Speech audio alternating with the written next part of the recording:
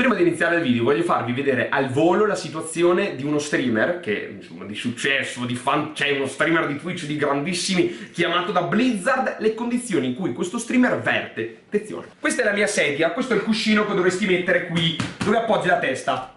Praticamente si sono incastrati i fili e l'unico modo per sistemarlo è tagliare. Cioè, io, io, io non posso, perché è un cazzo di elastico, non posso metterlo dietro perché rimbalza. Io ho questo nella schiena, praticamente ho la schiena che sta diventando una cazzo di conchiglia. Ciao a tutti ragazzi, bentornati nel canale. Amici miei, pugno di Raden, pugno dritto in mezzo ai coglioni di Raden. Nuova leggendaria uscita con la seconda ala di Galacron's Awakening, eh, leggendaria che ti permette di creare eh, leggendarie casuali in funzione delle spell, leggendaria che io ho provato e oggi andremo a vedere. E vi spoiler che funziona con metto le mani avanti, ragazzi, il mazzo non è fenomenale, chiaramente, è un mazzo molto divertente, funzionale solo per quella carta, ma non è un mazzo ovviamente di livelli eccelsi. Funziona per far funzionare il pugno di Raden. Niente di che. Ovviamente, ragazzi miei, vi invito, qualora vogliate lasciare un bel e potente like antartico, like tattico, chiamatelo come cazzo vi pare, pigliatevi il cazzo di pulsante. Peraltro, ragazzi, vi spoiler che in settimana spero di riuscire a portare quello che è il Poly vs Dio 3, che probabilmente sto registrando adesso mentre voi state vedendo questo video quindi pregate per me perché il Signore probabilmente non lo sta facendo. Vi auguro una buona visione con questo mazzo che trovate qua sotto in descrizione. E niente ragazzi, vi invito, qualora vogliate, a commentare, guardare il video, fatemi sapere cosa ne pensate del pugno in culo di Raden. Buona visione amici miei. Andiamo! Ho la merda nella scrivania, no? Ma veramente, cioè, ho dei cavi distrutti. Non so come cazzo si siano incastrati i cavi di una cuffia con quelli dell'altra. Cioè, non è possibile che si riproducano ste cazzo di cuffie. Poi c'è sto cazzo di cuscino di merda che non so... che video di merda che viene fuori. Bu eh sì, buonasera. Sono abituato ad essere in live quando mi vedo con OBS. Ma hai rotto il cazzo, mi hai rotto. Vaffanculo, cuscino. Allora, signori, eh, non è live, cioè sto registrando questo video. Se volete lecco un piede per dimostrarvi che lo sto registrando. È una modalità di registrazione sopra la live. Vedete, io non muovo niente, si muove il mouse da solo, quindi io sono un mago. Oppure Gesù Cristo è una grande persona. Allora, signori, è il mazzo che vi ho detto, è il... No, veramente, sto cuscino gli do fuoco. No, non è possibile, gli do fuoco sto cazzo di cuscino. Ma dai, ma stai scherzando? Stai dietro! Ma vaffanculo. Allora, il deck l'avete visto, cioè l'avete visto, lo vediamo qua insieme a fianco, è un Big um, Raden Shaman, lo chiamo Big Raden perché non so come cazzo chiamarlo, sentite, io faccio il video col cuscino qua perché non, non si può fare. Eh, è big perché il mazzo da solo, cioè solo la versione um, Big o Raden non funziona. Accoppiandole diciamo che funziona qualcosina, non è che funzioni chissà quanto, ma qualcosina almeno riesce a farlo. Eh, sicuramente vedremo infatti dei gameplay interessanti. Questo primo game soprattutto lo vedremo che è molto interessante perché succedono cose, succedono robe. Eh, non vi spoilerò niente, adesso vediamo quando troverò il pugno di Raden, che non si rivela poi tutta sta gran, grosso granché, almeno per una volta, poi invece le altre volte fa egregiamente il suo dovere. Counteriamo chiaramente l'early game, ragazzi, ci sono una quantità sproporzionata di AOE spell, perché giustamente vogliamo eh, che il pugno di Raden poi ci evochi leggendari col costo relativo della spell, quindi abbiamo terremoto, abbiamo la spell a 5, eccetera, eccetera, eccetera. Arriva il pugno di Raden, ma io sono velodato, quindi mi attacco al cazzo, vado a prendere un'arcerina elfica, dalla spell a 1, che mi è piaciuta prenderla da, dalla visione infestanti, per rimuovere un 2-1, mi va quasi di culo, mi viene da dire, perché eh, riesco a mitigare un po' di danni che invece andrebbero sul mio bel, sul mio bel faccino. Prossimo turno sicuramente andiamo di pugno di Raden. Eh, mi è capitato purtroppo che, non so perché, perché mi chiamo Poli e mi sono Mattia e quindi mi sfigo come Gesù, che praticamente avessero melma, cioè tempo rogue con la melma. Non si vedevano tempo rogue con la melma, credo da mai, però io ne ho trovato uno. Eh, se fanno melma, fate esche con Sid per rispetto, eh, se no non importa. Qua abbiamo una, una, curva adesso importante, perché in vero mi fa un paio di danni adesso, forse qualcosa di più. Eh, però settando il pugno di Raden e poi a turno 6 fare Eureka che mi caga l'arcimago, praticamente faccio un turno 6 devastante. Adesso andiamo a vederlo insieme, viene un turno 6 veramente gigante dove per 6 mana, eh, oltre a evocare una copia, quindi non è che evoco il vero minion, eh, per 6 mana non solo evoco un drop a 10 che mi evoca un drop a 6, quindi 16 mana totali, in più evoco anche un 4-4 che ha il valore di circa 4 mana, quindi ho praticamente giocato a 6 mana qualcosa come 20 mana. Ehm, peccato in realtà perché la leggendaria non è chissà cosa, potevo uscirmi molto di meglio, potevo uscirmi Cairn, mi viene in mente che è un 4-5 doppio, invece esce Flick, eh, che vabbè non è che faccia chissà cosa. Peraltro vi faccio una domanda, no? A parte mettete like, anche se ve l'ho già detto nell'intro, mettetelo, mettetelo, lo metti, non ci sono dubbi. Ma se lui fa flick sul mio flick, Muore anche il suo flick? Cioè, io mi immagino, no, flick che ammazza l'altro e poi si accoltella da solo. Tipo, za, za, e si uccide. Chiedo come funziona, se me lo dite nei commenti, perché è una meccanica che non ho ancora... Eh, e voglio saperlo, fatemelo sapere. Lui ovviamente farà di tutto per rimuovere il mio arcimago, perché sennò crea drop a 6 come la madonna, quindi non può permetterselo, ma non riesce a rimuovere il flick, il che è una cosa molto importante. E qui, il momento skill based. Drop a 5, leggendario. Ed è lei, raga, è lei, è lei, è lei, esce Aviana Oscura. Esce Aviana Oscura che è una leggendaria, quindi può uscire come drop 5. Infatti, voi non lo vedete perché eh, adesso la, mia, la, webcam della stream è occupata dalla mia webcam di adesso, ma ci sono io con la faccia così per circa un minuto che sto fermo dicendo perché Dio veramente è così una persona strana. Però vabbè, talvolta. Eh, un saluto a Dio che ci segue da casa. La Viana Oscura permetterà al mio avversario di fare una giocata a tempo, ma se i dolori uno pensa che siano questi, non ha ancora visto niente. Perché i dolori sono questi. Ecco, io probabilmente questa clip è stata mandata a Trollden da molti miei follower, se volete mandargliela anche voi, perché eh, diciamo che il gigante di luna non è una carta che uno si aspetta, genera- cioè il gatto gli ha generato il gigante di luna che non avrebbe mai trovato gioco se non fosse grazie alla mia aviana generato dal mio pugno di Raden. Invito voi che state guardando il video a mettere like adesso perché per, per, per supporto, ci sono io che ho lanciato gli occhiali, sono andato via dalla, dalla webcam, eh, per supporto, eh, un supporto che perlomeno non è così eh, devastante perché ho ex in mano, questa è l'unica cosa che mi fa piacere, nella speranza che Aviana non muoia chiaramente, perché se Aviana muore allora lì sono cazzi amarissimi, no? Però in ogni caso non è andata bene, non sono stati due turni belli, eh, il mio e il suo. Sì, ho fatto board clear, ma non è andata così bene, tutto sommato. Fortuna vuole che appunto non è così la sfiga totale di avermi eh, permesso di bruciare completamente eh, ex di, di, bruciare completamente la cosa. Come vedete, eh, Aviana rimane in salute, rimane viva e vegeta. Quindi posso anch'io guadagnare value da questa giocata. E la prima cosa che dovrò fare, ovviamente, sarà uccidermela, perché sennò questa mi crea problemi. Infatti, faremo una giocata molto forte. Nel mentre notate che il pugno di Raden ha ancora due di durability, no? Ancora due di du- durevolezza. Scusate se non sentite l'audio del gioco, ma stavo guardando i method che ra- raidavano su World of Warcraft, quindi scusatemi. E, ehm, come notate, adesso io ho una cosa 0 non ha senso giocare una spella 0, che per chi non lo sapesse, se io gioco una spella 0, non viene scalata la durability dal pugno di Raden, bensì mi dice hai giocato una cosa 0, bene, a posto, perché non esistono leggendarie a 0 mana. Se esistessero leggendarie a 0 mana, una spella 0 creerebbe quella tipo di leggendarie. Gioco l'arcimago cattivo, la giocata deve essere questa. Arcimago cattivo, che è il mio drop a 10, così pareggiamo la situazione, diciamo, col mio avversario. Arcimago cattivo, schiantiamo Aviana sul 3-6, sul 3 sul 10-10, così lei esplode e poi exiamo il 10-10, in modo che non possa più rompere i coglioni.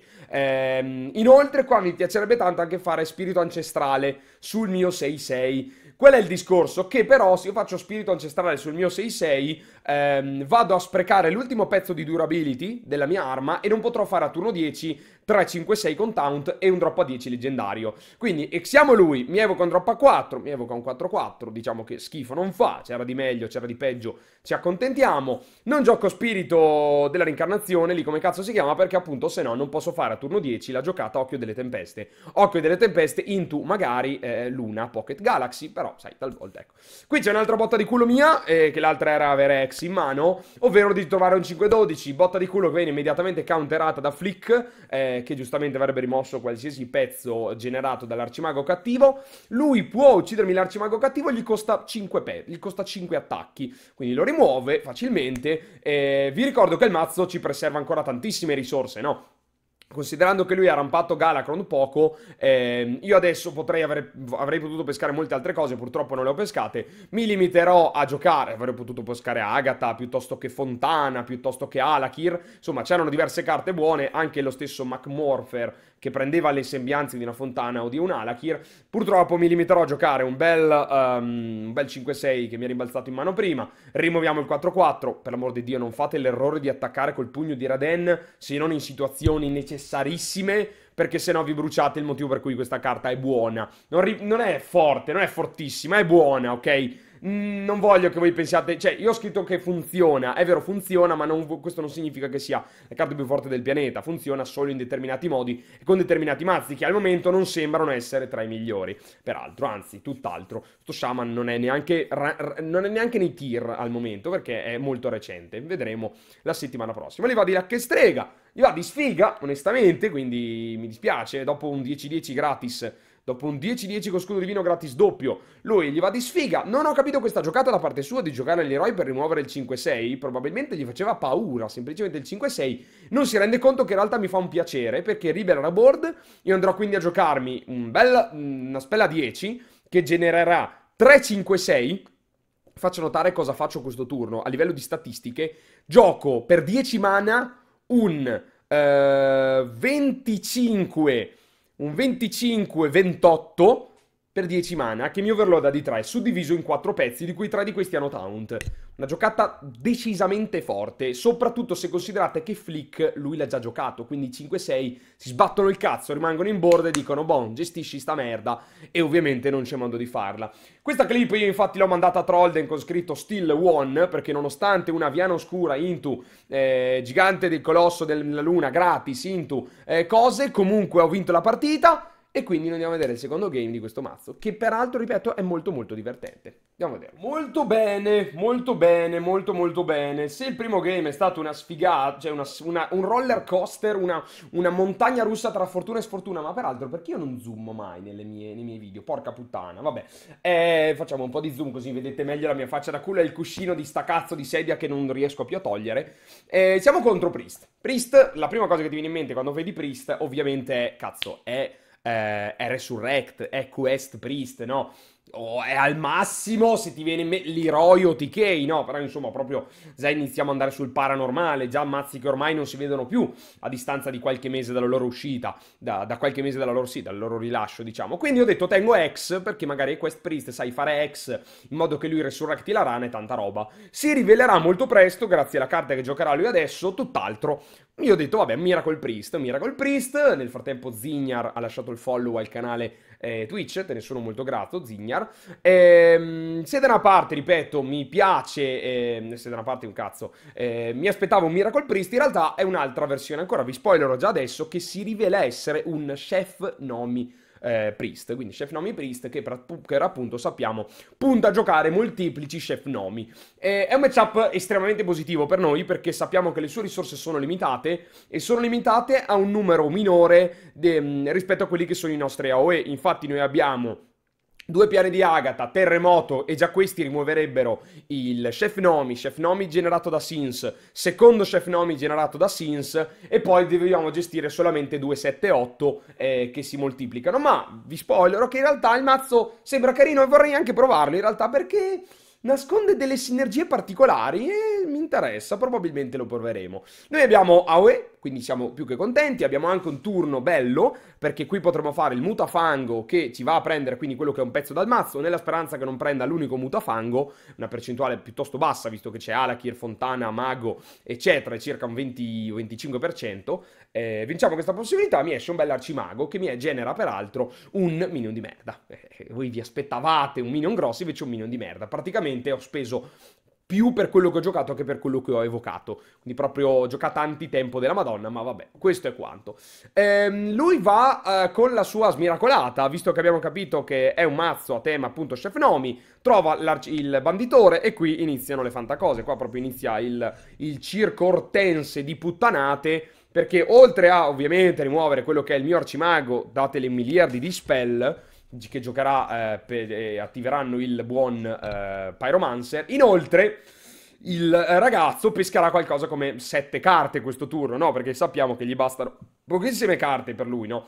Peraltro, voi uno magari si domanda, ma perché Chef Nomi Priest piuttosto che, eh, piuttosto che il druido, no?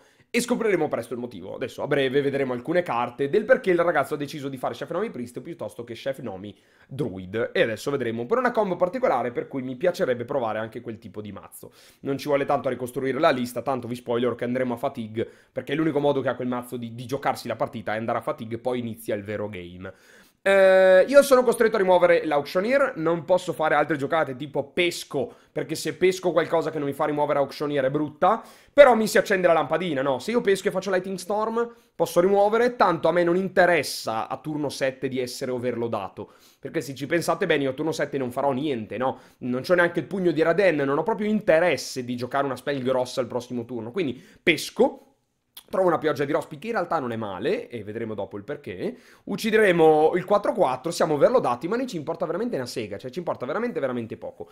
E in tutto questo però il pugno di Raden non si fa vedere. Il pugno di Raden che la partita di prima ci ha carriato e non carriato, cioè che ci ha fatto vincere e perdere contemporaneamente, e in realtà ci ha fatto poi vincere, abbiamo visto. In questa partita è ancora più importante, perché ogni volta che faccio una spell mi genererà poi dei pezzi che lui non potrà rimuovere, perché lui, come sappiamo, ha risorse, ripeto, limitate. Ok? Eh, non posso permettermi di fare una rimozione qui. Allora, non posso permettermi di fare X, perché lo voglio usare su altre cose, tipo sui 7-8, inizialmente ho pensato. Non posso permettermi di fare piogge di rane, perché gli regalo una valanga di carte da, da pescare con i suoi due accoliti. Non posso permettermi di fare il piano di Agatha, perché il piano di Agatha, come dicevo, è uno dei tre pezzi che mi permetterà di rimuovere le tre ondate di Chef Nome più i 6-6 e fino adesso uno dice, cazzo, poi la partita si vince a occhi chiusi, no, hai già tre rimozioni, lui giocherà tre cose. E invece, ripeto, ci sono dei plot twist che mi fanno rendere interessante giocare il mazzo. Non faccio neanche totem, mi raccomando ragazzi, non fate totem, è vero che è una percentuale bassa che esca il totem 1-1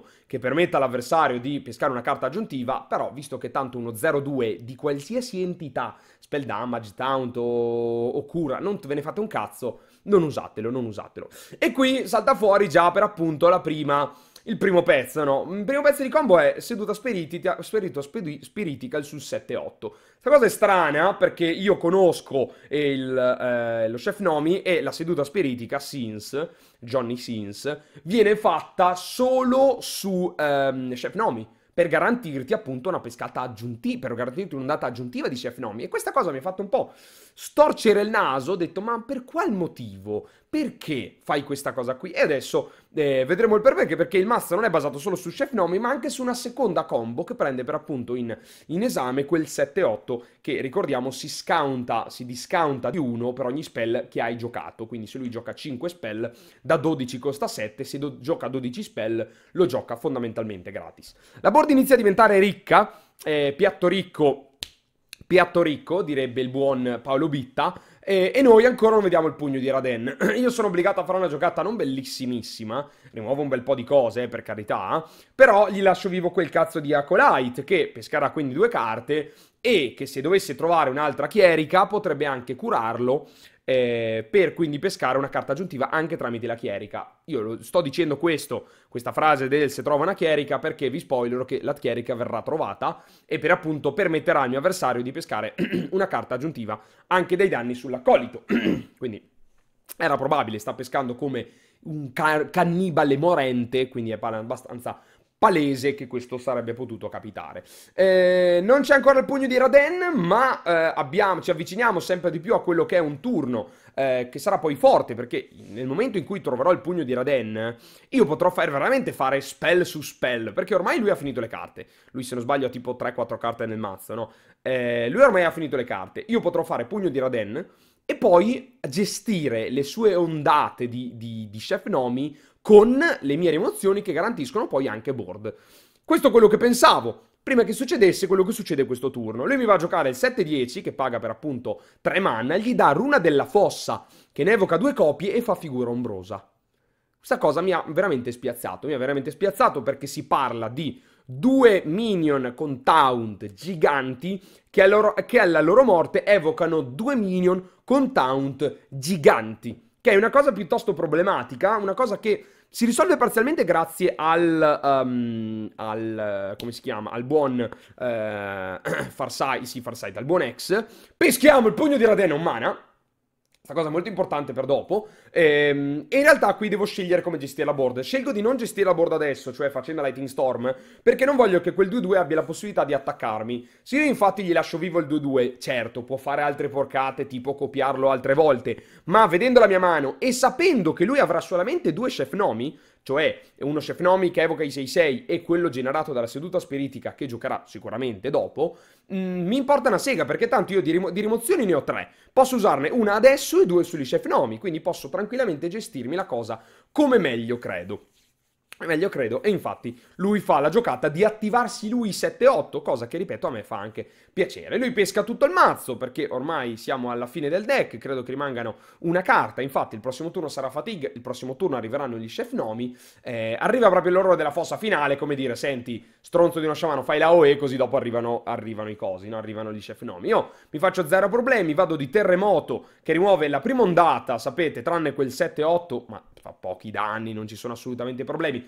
Andiamo quindi di terremoto che rimuoverà tutto praticamente e mi genera una leggendaria 7. Leggendaria 7 non me la ricordo, quindi vediamola perché sono, non ho idea. Un bel 7-7, cazzuto, e, e, e scossa sul 7-1.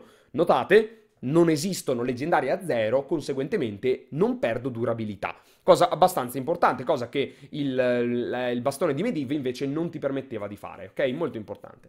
Viene giocato Chef Nomi, viene giocata seduta spiritica per avere la seconda copia di Chef Nomi, ma il ragazzo va male perché mh, ovviamente io ho le due piane di Agatha, quindi vado col 7-7 faccia, faccio piano di Agatha, che non solo rimuove tutta la board, ma mi genera anche una leggendaria 5 nella speranza che non sia Aviana. Eh, uno si aspettava il plot twist che succedesse di nuovo, in realtà no, mi evoca un bel 5-5, una bella Elise, tonda tonda bella gratis. E se consideriamo che lui farà un altro chef nomi, e io poi voglio fare la power play di giocare gli occhio della tempesta, è giusto non fare altre spell questo turno. Se avessi fatto i lupi, probabilmente avrei perso, avrei perso uno dei durability per non fare poi l'occhio della tempesta. Vado quindi esattamente come lo turno di prima, vado faccia, rimuovo tutta la board di nuovo con 14 danni e mi evoca un altro 5-5. Ora, la situazione per lui è estremamente brutta, no? Adesso io stavo ragionando se fare o meno i lupi spiritici, cosa che ripeto non ne vale la pena. E... Però vi spoilerò che il game finisce così. L'avversario probabilmente si è intrippato il cervello. Sapete, no, per citare Marco Merrino, tu non fai manco resa, tu chiudi il gioco! Perché lui probabilmente ha quittato. E, e onestamente, ripeto, uh, anche se quelle fossero state rimozioni, cosa probabile, per esempio, non lo so, magari uh, Massistiria piuttosto che Uh, magari altre peschini, oppure altre carte come il 2-2 che, che generano una coppia di un minion con The Attractol. Uh, comunque, se avessi fatto power play giganti, io il prossimo turno rispondevo con una power play che abbiamo già visto prima, che mi genera una leggendaria casuale a 10 mana, più 3, 5, 6 con taunt, che male non fanno, che proprio, cioè, male non fa. Questo gesto è importante, vi fa capire che male non fanno, no? Fatelo anche voi, fatelo adesso. Bravi, bravissimo, bravo, esattamente così. Devi fare un leggera giramento vicino all'orecchio, male non fanno, ok? E poi lo rimbalzi. Tutorial come girare la mano con Poli. E niente ragazzi miei, lui è andato, lui è sparito, eh, non mi ricordo se riesco a fare l'occhio della tempesta giusto per vedere le leggendarie a 10. Ho già controllato comunque il pool di leggendarie a 10, la più brutta è probabilmente eh, King Foris che può generarti un 10 mana 5-5 ma in qualsiasi altro caso stai sempre andando a rialzo con le statistiche in maniera esponenziale. Ricordatevi che voi state pagando eh, quelle, legge quelle, leggendarie praticamente 1 ogni volta che giochi una spell tu la stai pagando praticamente 1 no? quindi è abbastanza semplice. Ci portiamo a casa il game e anche il video. E niente ragazzi miei, il mazzo l'avete visto, uh, ripeto, non è un mazzo top tier, non è un mazzo dalle più grandi eh, potenze e eh, possibilità ovviamente in termini di ladder, è un mazzo divertente, non vincerà probabilmente mai contro i top tier, ma è un mazzo divertente che fa funzionare bene il pugno di Raden, se avete le carte, ripeto, giocatelo, se dovete craftare qualcosa pensateci bene perché il mazzo non è così Gesù Cristo, eh, funziona la carta, però bisogna anche trovarla, chiaramente, basare tutto su una carta non è sempre una grande grandissima giocata. Io ragazzi miei vi auguro una buona domenica, vi invito a venire in live questa sera su Twitch o domani, dopodomani, insomma mi trovate, tanto ci sono sempre. Vi auguro una buona serata e ovviamente ragazzi miei ringraziandovi in anticipo se avete messo like, commento e condivisione, io vi dico semplicemente...